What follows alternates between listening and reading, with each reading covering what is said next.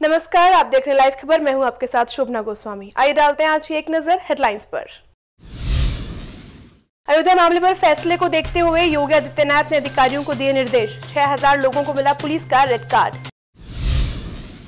भारत के प्रधान न्यायाधीश रंजन गोगोई 17 नवंबर को होने वाले हैं सेवानिवृत्त।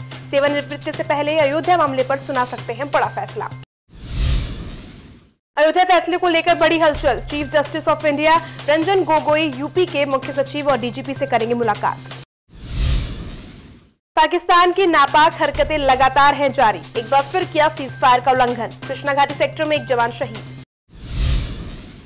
महाराष्ट्र में नई सरकार को लेकर सस्पेंस जारी। देवेंद्र फडणवीस आज दे सकते हैं अपने पद से इस्तीफा।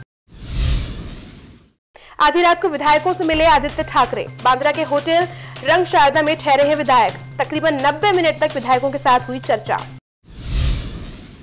बयानवे वर्ष के हुए भारतीय जनता पार्टी के वरिष्ठ नेता लाल कृष्ण आडवाणी। उनके जन्मदिन पर प्रधानमंत्री नरेंद्र मोदी ने दी बधाई। नोटबंदी के तीन साल हुए पूरे ममता बनर्जी नोटबंदी को बताया आपदा तो वहीं प्रियंका गांधी ने कहा, तुगलक की फरमान। ऑड इवन नियम पर सुप्रीम कोर्ट में आज होगी सुनवाई। केजरीवाल सरकार को बताने होंगे ऑड इवन नियम को लागू करने के फ़ायदे। संत कबीर नगर में एक पेट्रोल पंप पर हो रही थी तेल की घटतौली। उपभोक्ताओं ने मचाया बवाल।